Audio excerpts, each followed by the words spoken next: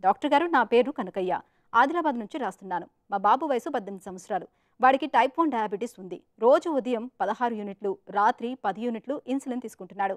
Sugar కంట్రోల్లో ఉండటం లేదు. ఒకసారి ఎక్కువ మరోసారి తక్కువ ఉంటుంది. రాత్రి సమయంలో నిద్రపోయినా డే టైంలో నిద్ర వస్తుందని అంటున్నాడు. మా బాబు ఆరోగ్యం విషయంలో ఎలాంటి జాగ్రత్తలు తీసుకోవాలి? సలహా ఇవ్వండి అని అడుగుతున్నారు. ఈ ప్రశ్నకు డాక్టర్ గారి సమాధానం ఇప్పుడు తెలుసుకుందాం. మంచి ప్రశ్న అడిగారమ్మా. మీరు చెప్పినటువంటి ఆ ప్రశ్నలో మాకు అర్థమైంది ఏంటంటే మీ బాబుకి టైప్ వన్ డయాబెటీస్ ఉంది దానికి సంబంధించినటువంటి ఇన్సులిన్ ఏమో రెండు సార్లుగా ఇస్తున్నారు పొద్దున రాత్రి అని చెప్పి చెప్పారు. యూజువల్గా టైప్ వన్ డయాబెటీస్ ఉన్నటువంటి వాళ్ళలో బేసల్ బోలస్ ఇన్సులిన్ రెజీమ్ అనేది వాడినట్లయితే కనుక బ్లడ్ షుగర్ లెవెల్స్ని కంట్రోల్ చేసుకుంటాం తేలికవుతుంది. మీరు చెప్పినటువంటి ట్వైస్ డే ఇన్సులిన్ రెజీమ్తో అది కొంచెం కష్టసాధ్యమే అని చెప్పి చెప్పాల్సి ఉంటుంది. కాబట్టి మీరు కనుక మీ దగ్గరలో ఎండోక్రినాలజిస్ట్ కానీ సీనియర్ డయాబెటీస్ ప్రాక్టీస్ చేసేటువంటి ఫిజిషియన్ ఎవరన్నా కనుక ఉన్నట్లయితే వాళ్ళని కానీ కలిసినట్లయితే వాళ్ళు ఈ ఇన్సులిన్ రెజీమ్ని బేసల్ బోలస్ ఇన్సులిన్ రెజీమ్కి మారడం అనేది సాధ్యపడుతుంది.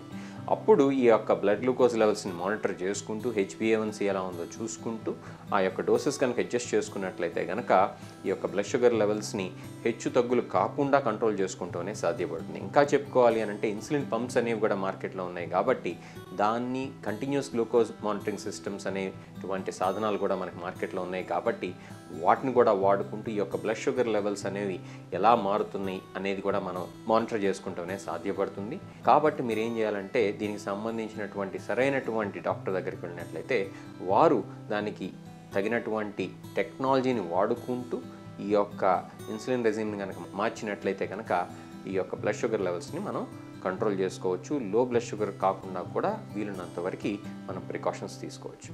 ఈ యొక్క టైర్డ్నెస్ అనే దానికి అంటే నీరసంగా ఉందనే దానికి రకరకాలైనటువంటి కారణాలు ఉంటాయి వీరికి థైరాయిడ్ సమస్య ఉందా? లేకపోతే cortisol levels eight to nine AM ఎలా ఉన్నాయి? ఇట్లాంటి కొద్దిపాటి రక్త పరీక్షలు కన్నా చేసినట్లయితే మనం వేరే సమస్యలు ఏమైనా ఉన్నాయా అనేది కూడా మనం బేరీజు వేసుకుని దానికి అనుగుణంగా మనం చికిత్స ఇవ్వటం అనేది సాధ్యపడుతుంది.